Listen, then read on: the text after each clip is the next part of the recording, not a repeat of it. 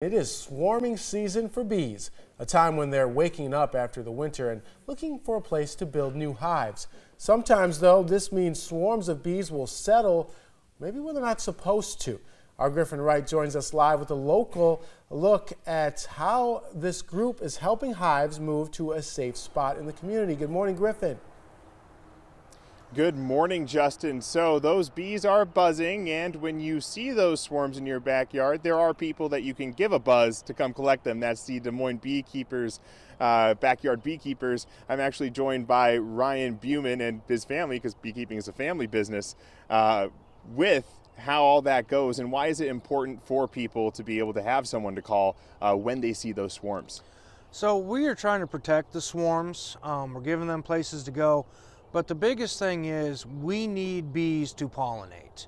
Without bees pollinating, if they become extinct, the human race has five years before they become extinct also. Yeah, so they are that critical to the ecosystem. And outside of uh, that crucial benefit, uh, there's also a lot of great things that you can get from uh, keeping bees. Uh, can you kind of walk us through what we have here? So we have here a frame um, that goes in our hives. This one has the wax, uh, pollen in it, and then all of this here is capped honey. Um, okay, can I try some yeah, of that honey? go for it. Wow, is that fresh? Mmm. That, that is delicious. I mean, it doesn't get fresher than that, right? That's right. Right, and that's that's just one thing. You have the uh, kind of block of wax there too, right? Yep. So the wax um, we pull off of the hives. This is still dirty, but um, we clean it up. It can make bees, uh, beeswax lip balm, candles, uh, things like that.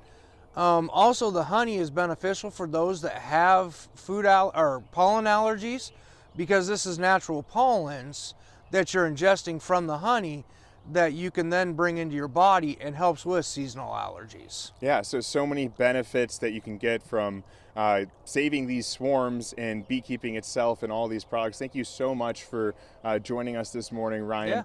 Yeah. Uh, stay or we'll have more information on our website uh, later this morning on that number that you can call to report a swarm and have somebody kind of help uh, collect that. But uh, you know, as that sun comes up and it gets warmer, these bees are going to be getting out, uh, pollinating, doing their thing. So uh, it's just exciting to see that they it's swarm season is here.